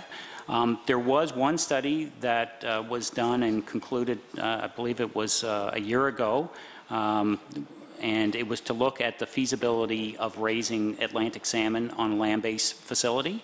Um, And uh, so that's one that was specific to, to that uh, specific type of grow-out. Um, My last question will be about the harmonization of the regulatory uh, requirements in this province with the other Atlantic, Atlantic provinces. We're attempting to do more uh, harmonization. What are we doing with respect to uh, harmonizing these new regulations with uh, our neighbors? In terms of our new regulatory framework right now, first and foremost, our objective was to address the issues that were raised uh, in Doelle Lahey, and uh, we accepted all the recommendations of the Auditor General. So that really was our priority. Having said that, we're very aware of uh, what's going on in, in the other provinces, and not to mention, many of the companies that operate in Nova Scotia also operate in some of the other maritime provinces. So there would certainly be an, an advantage uh, to industry to have some efficiencies there so that there's not a, an entirely different framework in each province. Order. I'm sorry, we do have to move on to the uh, Liberal caucus and Mr. Maguire. Thank you very much. Um, Even with uh, potential world-class regulations uh, about to be announced, uh, the minister in the department, by the minister in the department, one of the uh, obstacles that uh, you will always run into is communication and education around um, farm fishing. So What are the obstacles that you see, what are the obstacles that you see in order to get some widespread recognition of, of how good this uh, industry can be? Like, we see success in Scotland, in Maine, Australia with the bluefin tuna, and now um, apparently uh, Japan, which is a leader in, in fresh fish, fish, is now starting to uh, farm tuna also. So, um, what do we need to do to get to that kind of acceptance by the general public? Mr. MacNeil? I, I think uh, we touched briefly on this before. The, the- it's all around, I think, transparency, clarity, accountability, and, uh, and also research and development. All of those were brought up in the, uh, the Doelle Lahey report. Uh, We talk about under clarity around the rules, uh, processes and procedures being uh, uh, identified for people, uh, transparency. Uh, We've uh, recently updated our website uh, to be able to, for, so people can have access to uh, a lot of information uh, that in the past hadn't been made available. Uh, They'll be look, able to look at site applications, lease and license decisions, and monitoring results. And, and they'll be all made available in a, in a timely manner. And as, as, as Bruce also mentioned, we're, we're looking at more public input in, in this process uh, so that the stakeholders will have more opportunities than they had in the past to, uh, to participate in those license and lease applications. And uh, we're, we're also committed to, uh, as pointed out in Doelle Lahey, research and development uh, to, to better understand uh, what's taking place.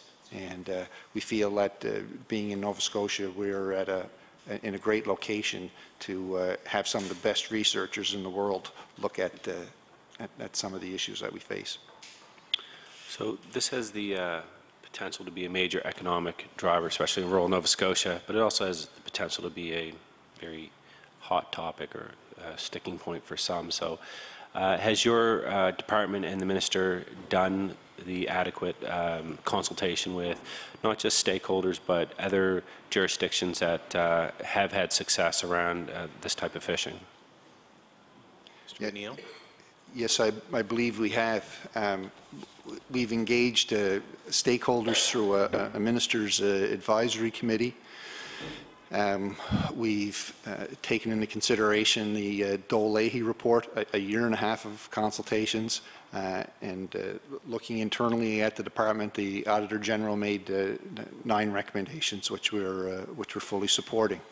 Also, uh, uh, staff and, or in some cases, the minister, uh, we've, we've visited British Columbia that has a very active aquaculture um, industry and uh, a, a very uh, sound regulatory system, which we know will be of interest to our, our colleagues at, at Nova Scotia Environment.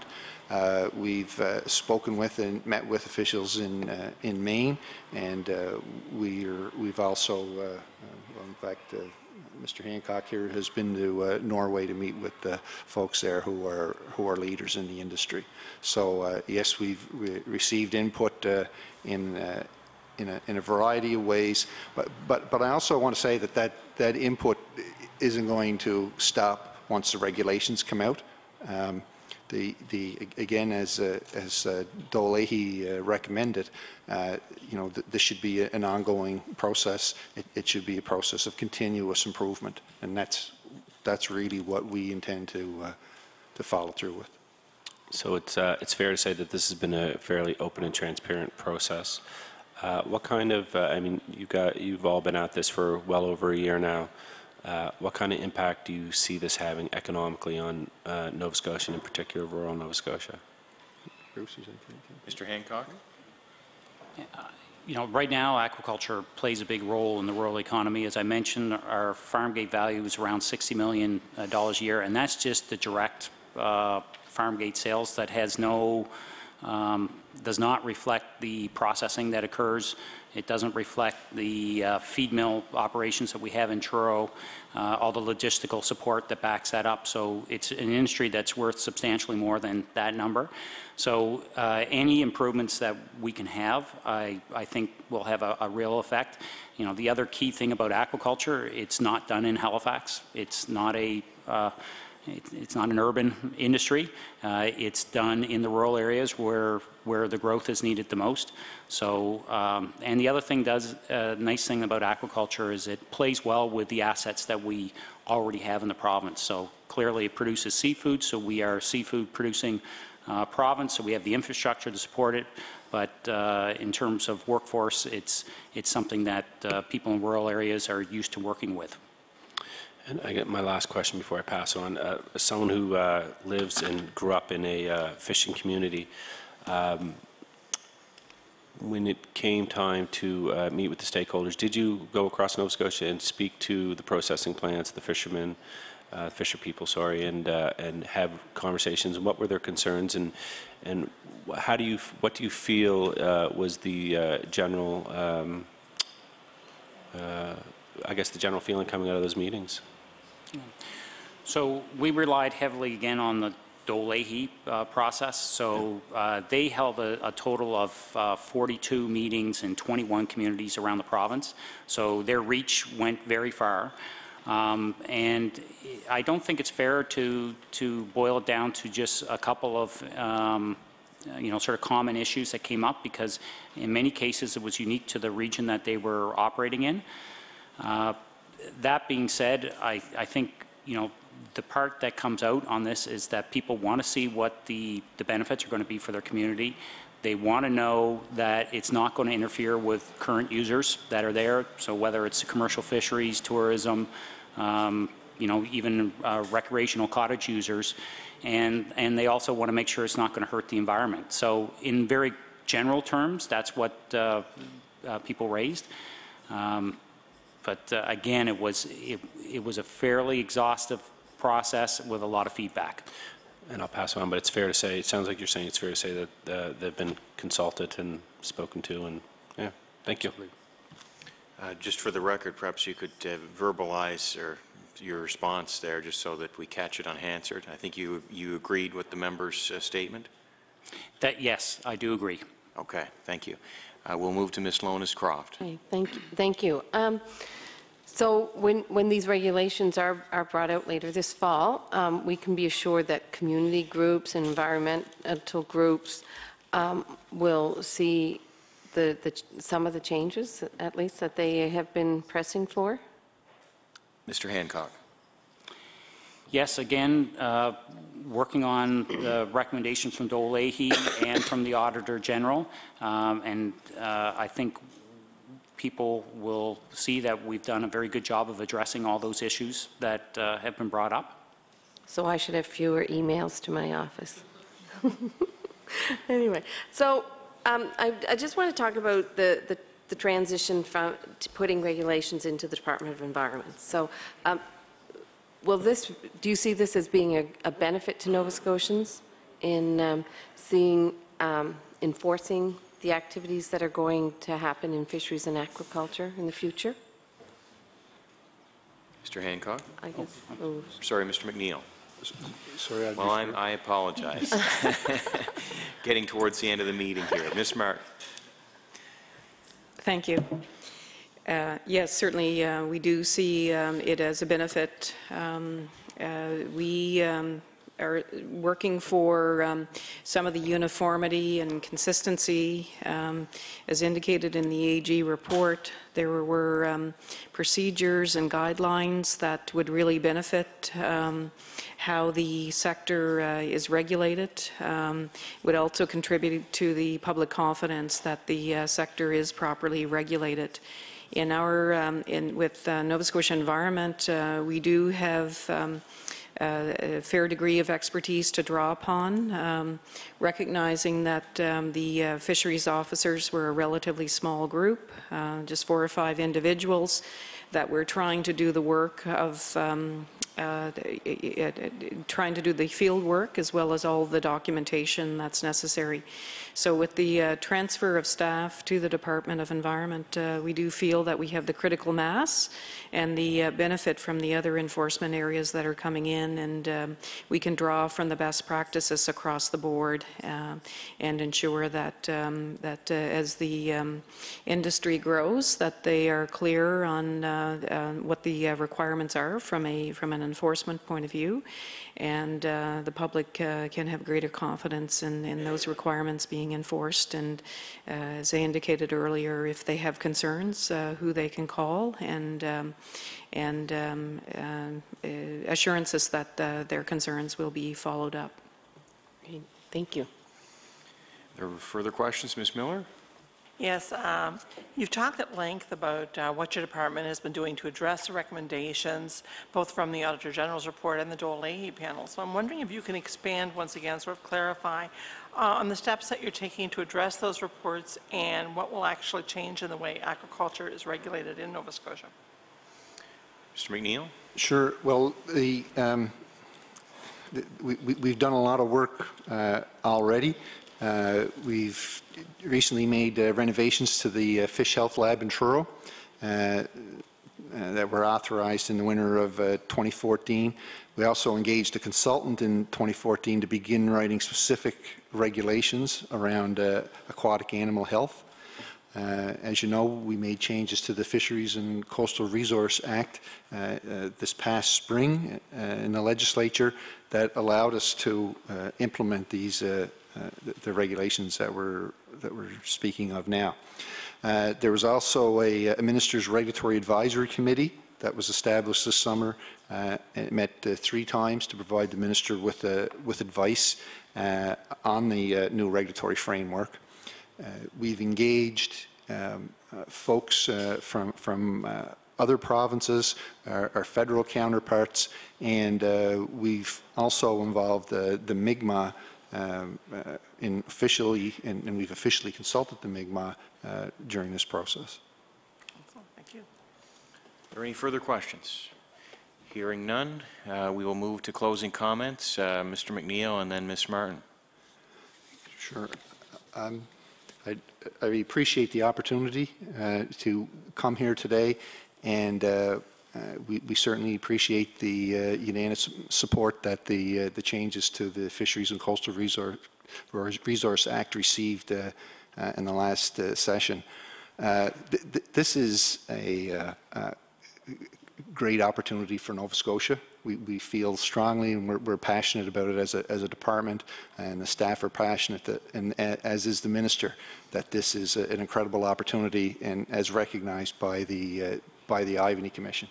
I- I'd like to thank the staff uh, that are here with me today, and I'd also like to thank uh, all the department staff that are, are working uh, towards a, a new regulatory regime and uh, putting in a lot of uh, late hours and uh, a lot of time that they're they're never going to get back. But we we certainly appreciate that the work they do for Nova Scotians, and and we are committed to continuous improvement and strengthening the way we monitor and manage risks so that Nova Scotians can be confident that the industry is socially responsible and uh, environmentally acceptable.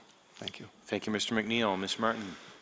Great, uh, thank you very much. Um, I do want to, um, to thank you very much for the opportunity to highlight some of the work that uh, is underway uh, in terms of the uh, transfer of responsibility for enforcement and compliance, and as well highlight some of the work that uh, we'll be doing into the future to ensure that we have an efficient um, compliance, inspection, and enforcement um, for this sector. That is a um, big opportunity for Nova Scotians, and um, uh, we can grow it in a way that um, will be um, uh, ensuring that uh, uh, the um, industry is uh, well regulated and, and the public has confidence that we're taking the necessary steps.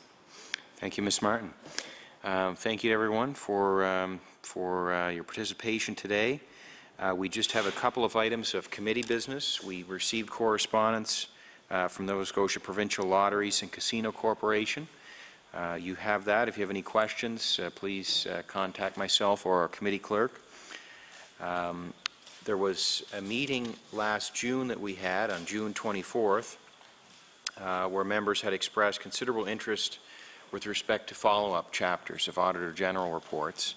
Uh, The Vice Chair and myself met with the Auditor General's office uh, subsequent to that, and the Auditor General will now be presenting a separate report each year that will be focused on follow-up, and that will be presented prior to the spring performance report.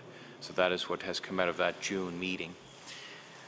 Um, Our next meeting date is October 21st, where we will have the Department of Finance and Treasury Board to discuss Chapters 5 and 6 of the February 2015 Auditor General Report, and we will be having a briefing on that with the Auditor General immediately following this meeting.